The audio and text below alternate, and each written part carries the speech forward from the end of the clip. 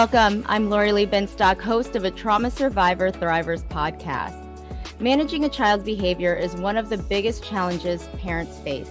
Many parents think that physical punishment is an acceptable form of discipline, with more than two thirds of American adults agreeing or strongly agreeing that children sometimes need a good hard spanking, and that's according to the National Child Traumatic Stress Network.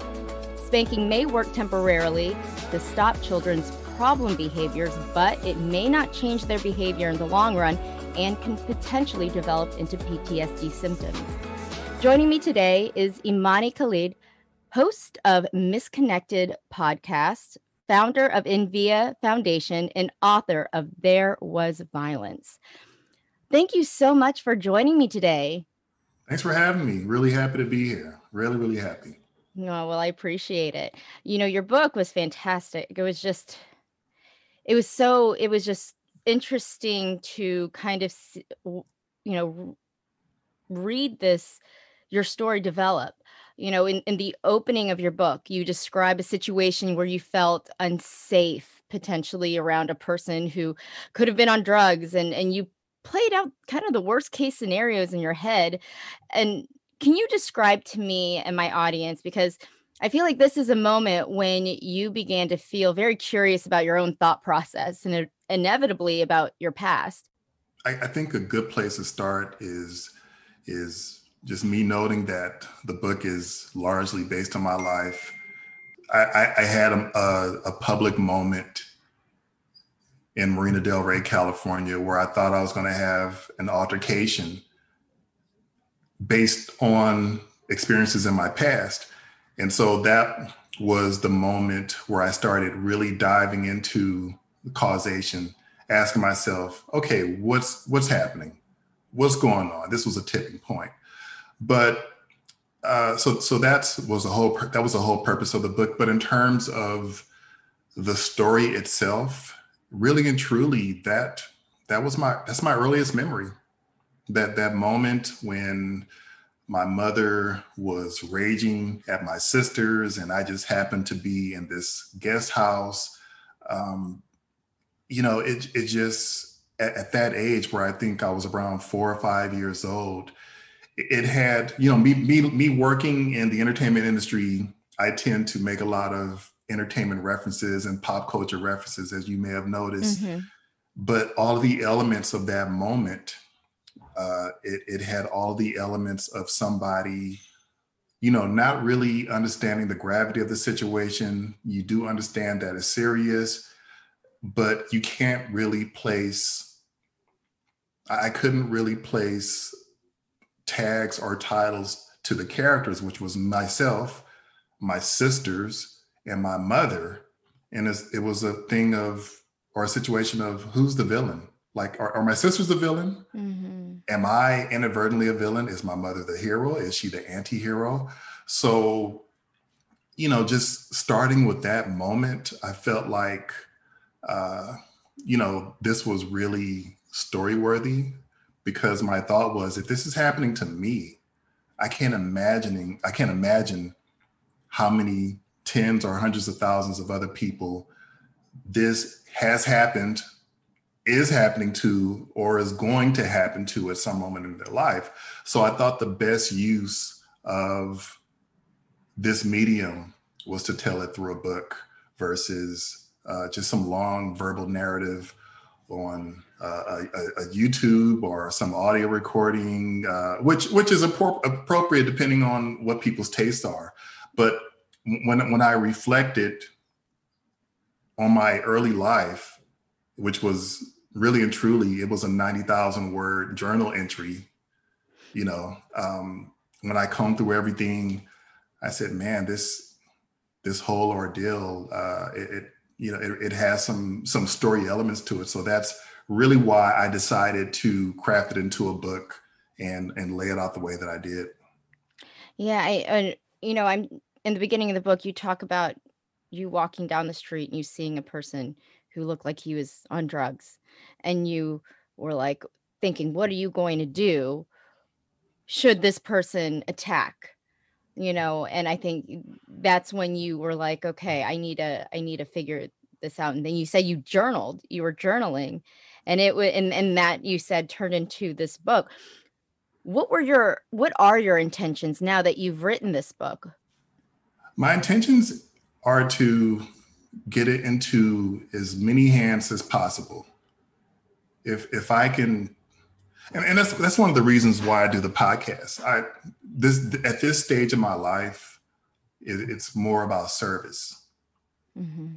And with whatever I create content wise, whether it's the podcast or my book or future endeavors and, and my foundation, I want to add days to people's lives. I want to add quality days to people's lives. So I feel like the book, if I had to sum it up in one line, I would say my intentions are to encourage people to be thoughtful and revisit the role of violence in your life look at the impact and seek out the appropriate help, whatever that may look like for you as a group or as an individual. Um, and, and, that also folds into my my new foundation. I I, I want to put in everyone's hands who wants a uh, a free app that helps them that helps usher them to the appropriate level of assistance, whether it's medical, whether it's you know legal, uh, some peer group, whatever. But but but back to the book, like I, I just want to help people, and encourage them, and model for them. Like, hey, I know it's tough. It's painful. I'm I'm halfway editing the, the audiobook right now. It's not always easy because I've, I've gone through so many drafts of the written form and I'm hearing myself, uh, uh, you know, tell this story over and over and over again. And, but, you know, I, I really want to impress upon people there is tremendous value in revisiting this and resolving it because, and I thought about this earlier today, it's not wise to do that with any other malady. If you have a toothache or if you have a broken limb, it's not going to correct itself. Mm-hmm. And a lot of times, what we do as people is we operate on a set base of assumptions. And if you're going through life based on assumptions that you're all right and you're not, you're going to make some skewed decisions because your reality is warped. So it it it helps to, and here's a a, mar, a mixed martial art term. It helps to get in the phone booth, get in close proximity with those issues, maybe slug it out, wrestle it out, work it out so you have clarity and you're moving lighter and you're freeing bandwidth and you're living a more peaceful life. I can't tell you. And I used to tease people who would go, "Oh, I feel so great," but I, would say that I'm I'm about 85% better. Like I, I have a peaceful life. The work leading up to it was tough, and I've been to therapy. I've journaled a ton. I've talked to people with similar backgrounds. It's not easy all the time, but it is definitely worth it. Wow. You know, in the book, you also talk about being a descendant of slaves. Do you believe that the violence exhibited by your mother, you know, we talked about um, um, the violence that you, you, you know, received from your mother, mostly in in punishment um, form, corporal punishment. Do you believe that the violence exhibited by your mother was a product of transgenerational or intergenerational trauma? Of course. I don't have to think much about that. It, it was modeled to her. Mm-hmm. It was modeled to her by her parents, who, in all likelihood, because she was raised in the rural South, it was it was imposed upon them through racist slave owners, white people. Mm-hmm. Um, I don't know a ton about my father's past, except except uh, uh, you know they have they had a very large family and and they lived in the South also. But it's like okay, well, where was this behavior learned? My mother told me, and my aunts and some of my uncles told me straight up, this is how our father was. Well, who did he learn it from? His parents and in an environment where it was okay to terrorize Black people. Mm-hmm. Yeah. You described your childhood home as a minefield. yeah. yeah. Can you tell me about that? Be, I, I, characterize our home as a minefield and our neighborhood as a minefield because you never knew when you were going to step onto peril. Mm. No, no day was the same. No day inside the home was the same. No day in the neighborhood was the same. And and and and when I was writing the book, I thought, okay, what what does this circumstance remind me of? And then I thought it reminds me of soldiers walking on patrol, and then you step on a landmine, mm-hmm. and you don't know that you stepped on a landmine until you step on a landmine. If you're lucky, you know that you're on a landmine and you keep your foot there, and and somebody can put counterweight there and you can get off. And otherwise you, you are going to catch the uh, you're going to catch the unexpected wrath of whatever that situation is. And there's there's no real way of preparing for that other than being on high on, on threat assessment mode or, or on high what i describe as high alert mm-hmm. and i heard someone say that animals can do that. Like a, a, gazelle can be grazing out in the jungle or in a safari and then get chased by a, pred- a predatory cat and then run off and then they're safe and then go back to eating grass. Mm-hmm. Well, humans don't function like that. Right. That stays with us and it can stay with you for hours or weeks or months or in some of our cases years. So that the minefield analogy was the best characterization for me. Yeah, you know, I interviewed um, a somatic experience practitioner. He was actually my um, somatic experience practitioner, and he used the the the analogy of um, the gazelle, or I think, yeah, I think he just he or a zebra out in the wild, and how what happens is when the zebra is being chased by a wildcat or a lion or tiger, um, it goes into flight mode, right? but then once the the um, predator the cat catches it it immediately goes into freeze. Its nervous system shuts down because so it doesn't feel anything. But then what happens naturally in a gazelle or a zebra's brain functioning if the lion happens to get distracted and that gazelle is able to escape what happens is it runs to its herd, you know, safety in numbers, the whole idea of being with your group. What they what they're able to do is shake that fear out. They they're able to feel their feelings, right? It's like so, you know, that feeling when we we experience trauma, we try to brush it off. So what happens? It's trapped. Instead of us being able to shake and let it out of our body and let it out of our system, um, that's why gazelles or zebras are able to adapt better and go go back to grazing because their their brain actually says like okay the the fear's gone but you know let's let's just get it out of our system.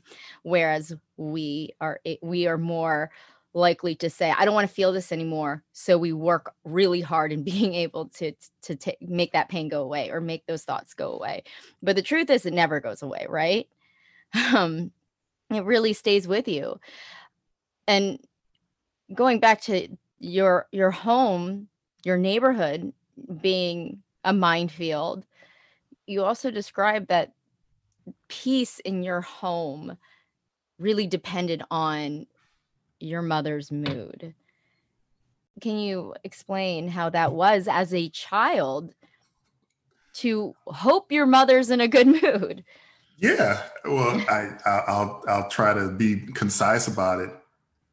My mother, my mother died in 2000, almost right towards 2012, at the age of 76, and she had colon cancer.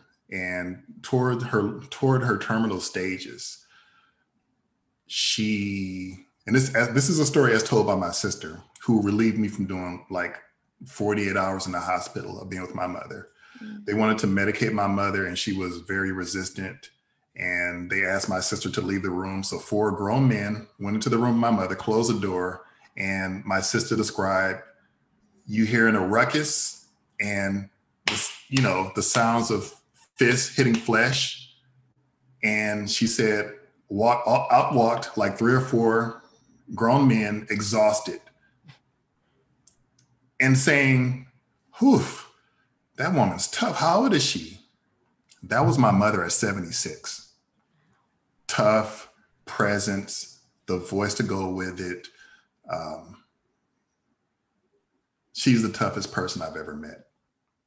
So, and I'm saying this as a I'm a 6'4, 220 pound man. I, I still stand by that. So as a child, to see the power she wielded, even though my, my father was a bigger man, I saw the authority she wielded. And, you know, when you're a small child and you see someone who's loving, but also inflicts pain on people bigger than you are, then that carries a lot of weight. So, you know, it's it's it's my whole thing was let me stay out of her way. Let me try to not be seen sometimes. Let me try to not make her angry. And, and it's a lot of guesswork of not necessarily living on cruise control, but living in a manner where I don't upset her. Because I watch what happens when other people upset her like I'm I'm that vulture on the rock watching the activity down, you know, in the canyon and and and you know, seeing her fist fight, fist fight with my father and seeing her discipline my siblings with belts and other forms of discipline. It's it's it's a weird it was just a weird dynamic where you know I would you know we would get this merciful loving side of her but then you also are storing in your memory bank that this is this is a ferocious woman at times. And you know when you don't have the tools as a kid to contextualize things and you don't have the tools to keep yourself safe whether it's physically or emotionally it's it's exhausting it, it was just exhausting sometimes like not knowing what would upset her and not knowing like hey she's really scared or she's just really traumatized. Mm-hmm. I didn't really look at it in those terms until later as an adult. Like I didn't know why she was on Xanax. I just got her the pills and it made her happy. So um, you know, it's it's it's just it's just it's just hard, man, to to to try to figure out how to navigate that temperament mm-hmm. and develop as a kid into an adult or a young man is exhausting. Yeah. Your your your nervous system was just operating at a higher stress. Just oh yeah. yeah. I can yeah. I, I was I was actually sexually abused by my father. So I mean, I know that oh. it it can be as a child you're you're just confused. Like this is the person who's supposed to show me love, but then there's this um there's this disconnect like this isn't this isn't supposed this isn't right right like this is um and then you start to feel unsafe but then they're the they're the only person who supposed to be making you feel safe um but you do say that you realize you didn't obviously you didn't realize she was traumatized you didn't realize she was dealing with her own stuff were you angry with her as a child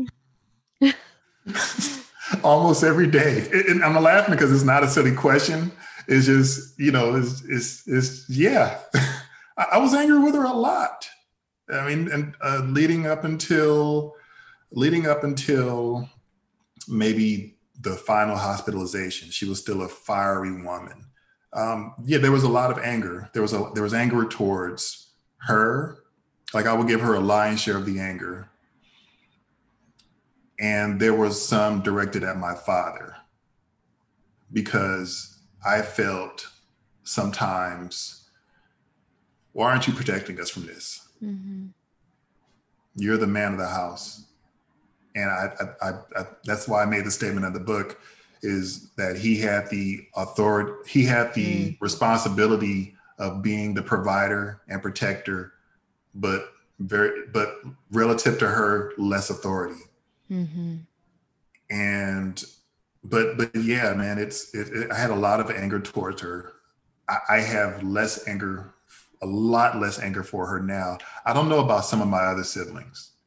Um, and and actually there's only you know there's my, my brother passed in 2000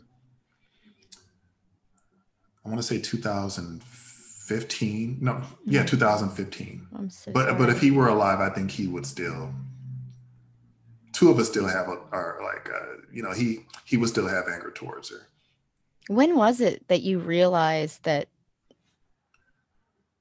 this this wasn't this was just trauma for her? For her? Yeah, when did you when when did you realize cuz I know in the book you also you also describe a lot of love for her. Mm-hmm. Um when when did the anger, I guess you still say you have a little anger, right? But you were saying, but when did it dissipate? When were you able to say I understand? Right. Good question. So my understanding of her matured over the years.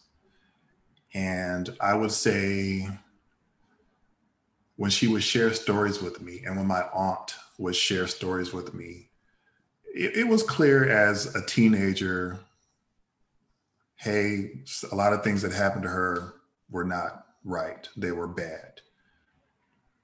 In my 20s, I would say in my my mid 20s, I, I started mid 20s to late 30s, I started actively using the word trauma. Mm. And late 30s and beyond, I looked at her more of this is a wounded woman. You know, so I, I would say at that stage in my my my late 30s, empathy really started to set in.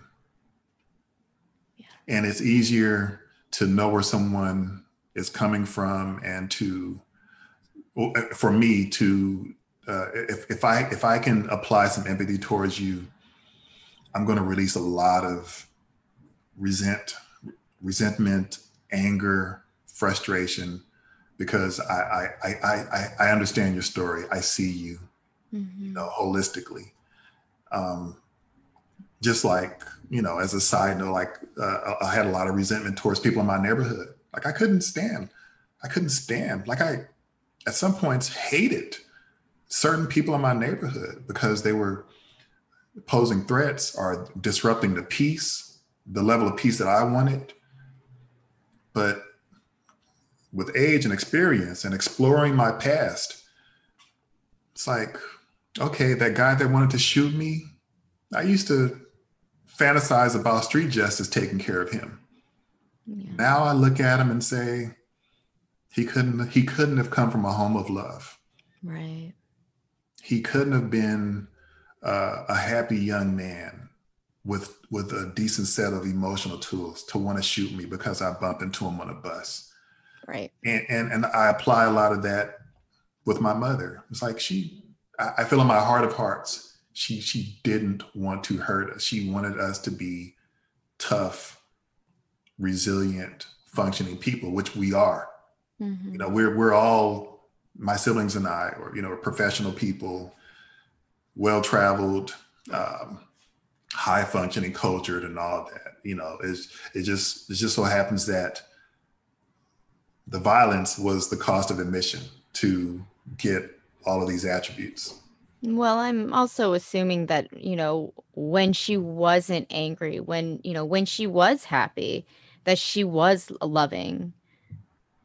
You know, and I think that that kind of and and understanding her past obviously obviously really does help.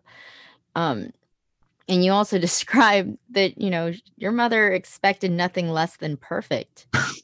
You know i know that for many people including myself who struggled with abuse can have can have trouble believing that they're enough or they keep striving for that type of perfect that doesn't exist um so has that affected you her need for perfection in you am I I'm probably going to laugh at every questions? question you ask. it, it's just it's just when when when people when when phrases hit home, I kind I, I laugh sometimes. Yeah. So yeah, it, it, did affect me in a, a, a big way, and I I know that about myself. I continue to work at it, um, but but that too had a cost. Um, you know, like her whole thing of the way we did our chores, like it has to be spotless, like military grade spotless.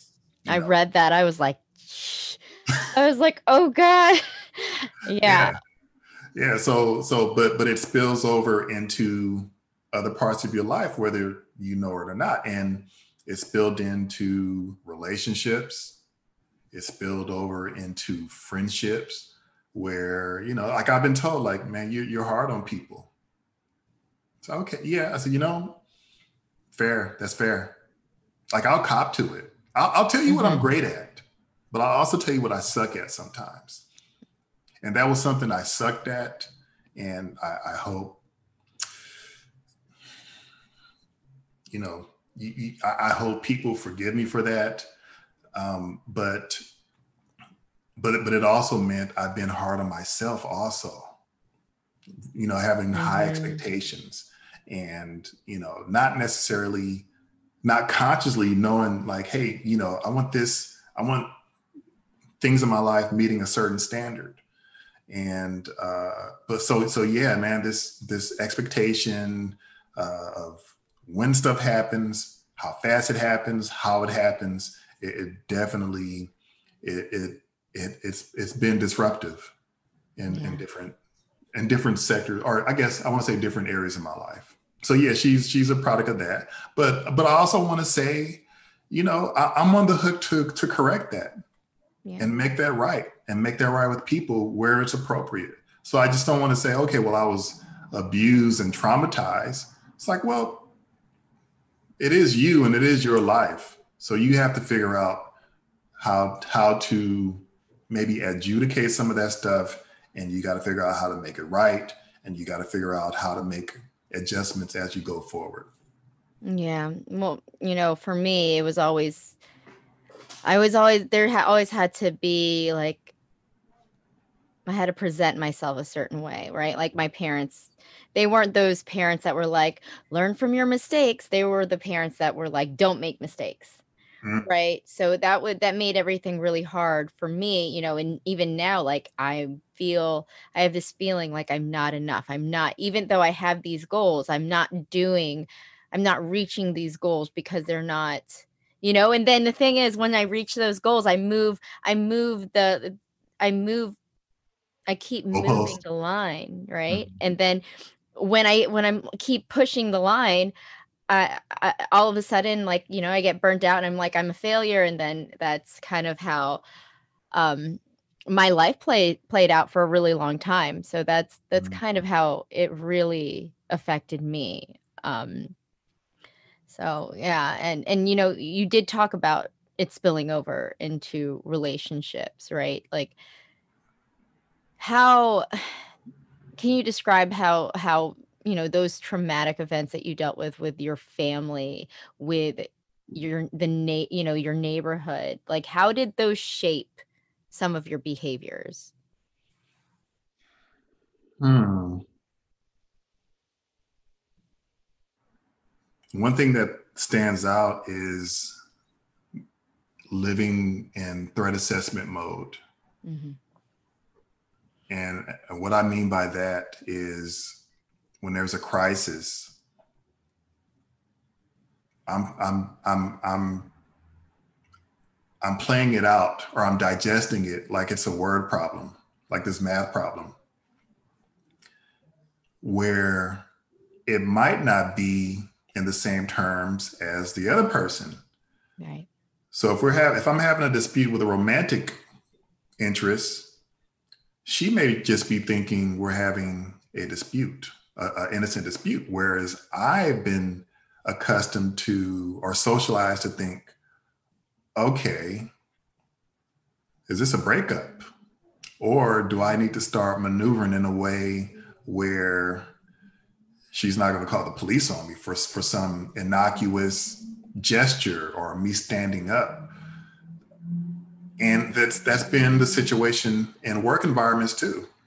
You know, just you know, some conflict. I mean, not a fist fight, but some conflict with a colleague. It's like, okay, is this person going to go to HR on me? Like, as a black person, do I have to deal with this again? Um, or, you know, the the anecdote I shared in the opening, you know, like I, I notice, like there's a lot of good that come out of living from the inner in, in, in the inner city, but the the anecdote I shared in the beginning of the book, um, like this guy was just looking wired and looking goofy. So I'm, I'm saying it all to say that sometimes guys who've never had a fight a day in their life will posture as if they're tough or as if they're ready to defend the world. I know a different reality behind that. And that reality is you never know when somebody is going to kill you or try to kill you or beat you to a bloody pulp and leave you impaired for life. So I'm looking at conflict with a higher level, with, with a different frame of reference of, of possibilities, because I've seen those poss- possibilities play out. You know, I've seen people cracked in the head with a bottle or a bat.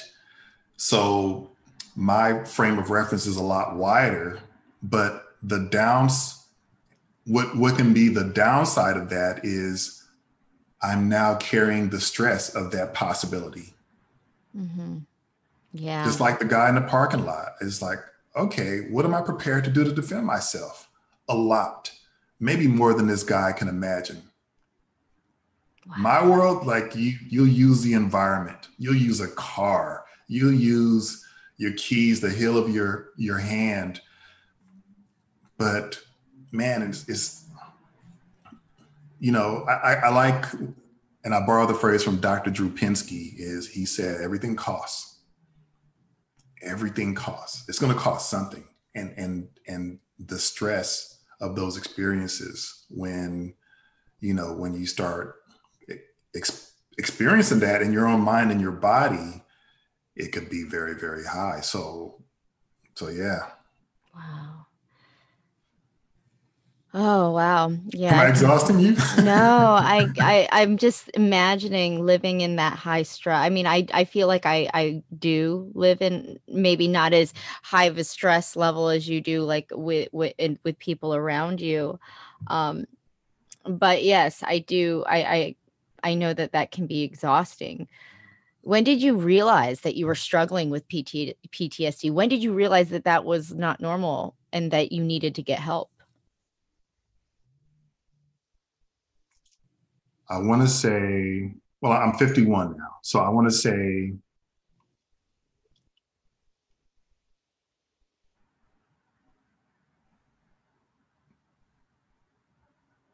I want to say my late 20s. I, I, got, I was aggressively seeking answers, and especially my early 30s. I, I was aggressively seeking answers through therapy and self reflection and reading and I, I was only comfortable sharing it with a small circle of people, people who I felt would be caring and kind and understanding towards me, and not people who would say stuff like, "Oh, we'll get over it," mm, yeah. or say stuff like, "Like, like I have a I have a dear friend, a dear friend, and he says, "Well, why are you thinking like that? You're not there anymore."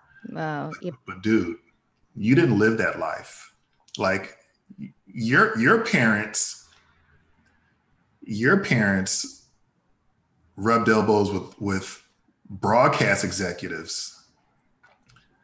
I had a different reality. So memories and responses to those memories are just responses like an or biological response to similar situations yeah. stay with you unless you start actively doing something to address that.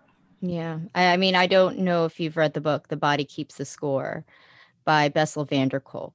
It's a fantastic book. It basically says it your your your reaction to things is your nervous system reacting every all of that trauma is stored in your body you know he may say that you're not living you're not living in that reality anymore but you really are until you are able to work on it like that's a lot of work too. So um that is something that a lot of people who have not been who have not been through trauma they just don't understand and and and that's it's really hard.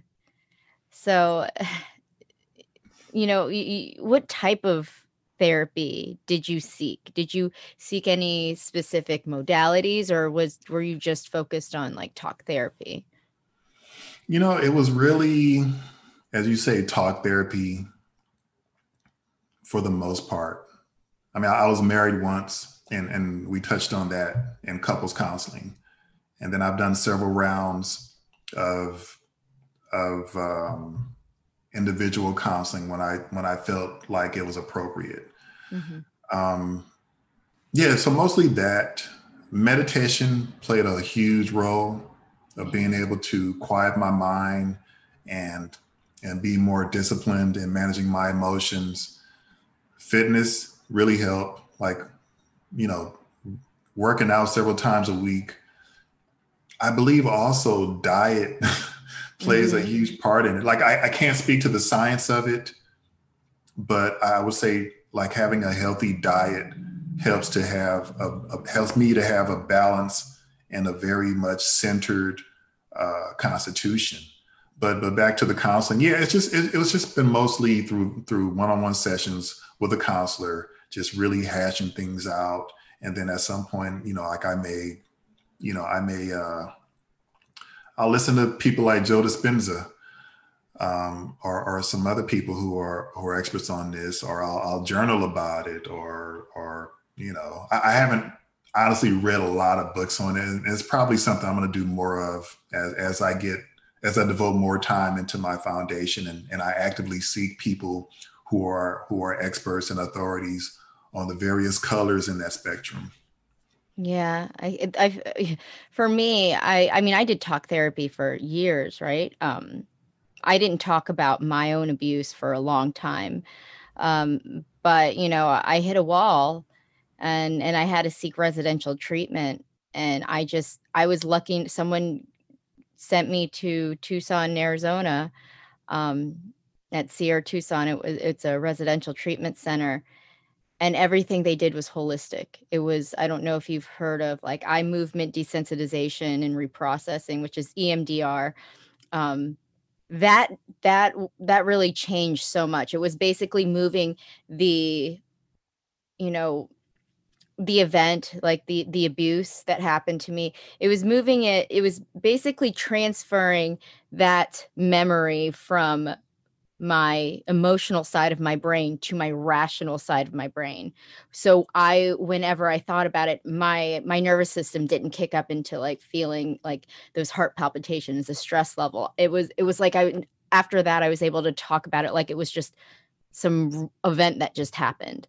Um and then you know i did all types of modalities and i and i just talked about this recently just in january i i tried um, MDMA um, assisted therapy, which is like it's psychedelic therapy, hmm. um, which was really um, it was a it was a really incredible experience, and I think from there I was able to even find some compassion for my dad being that he was in he was also in an environment that normalized even though i don't know if i want to say i forgive him but i it, it was like when i when i did the um, drug assisted therapy, I it was like he I was playing a movie in my head of his childhood kind of strung together from like different conversations people had and it felt like I was there watching this movie of his childhood and from there I was like oh my gosh this wasn't really he didn't do this to hurt me he did this because he just didn't know any better and I you know I hate saying that it kind of makes me cringe a little bit but it made me it created a lot of empathy for me um and i think i'm i'm very much of i'm very much an empath i feel like i I, you know, I have a lot of empathy, kind of to a fault sometimes, um, for what a lot of people go through. So, yeah, I, I think, I think it, you know, I think trying out all different modalities of of healing, um, especially holistic ones. You know, um, obviously the MDMA was drug assisted, but I that was also for me to get off of um, like antidepressants because um, uh-huh. I, d- I definitely wanted to not have to be on antidepressants because they made me feel kind of bad. Um, but in a mentally well but physically not so great. Um, but you know knowing what you know now what are your feelings about corporal corporal punishment or physical punishment and rearing children? Hmm. That might be a little surprising. like I, I, I definitely think like I have a hard line that shouldn't be crossed. Like, like I, I don't know if I want to say I'm anti-spanking. Mm-hmm. I, I, I would want to I, I would say definitely I'm against you know using a belt punching, slapping a kid, um, spanking with your hand. I, I, I, would probably put that more in an acceptable range. Um, but but just beating your kid, man, I I don't see a lot of good coming out of that. Like it's going to be there's going to be some negative impact either you know you you I, I fear that people would risk raising a future abuser mm-hmm. A coward uh, uh, uh, what's the phrase um, you know just somebody that's going to wilt under pressure so I, I think my long-winded or my shorter response for that is anything beyond spanking with your hand for a small child to get their attention, I would probably discourage that.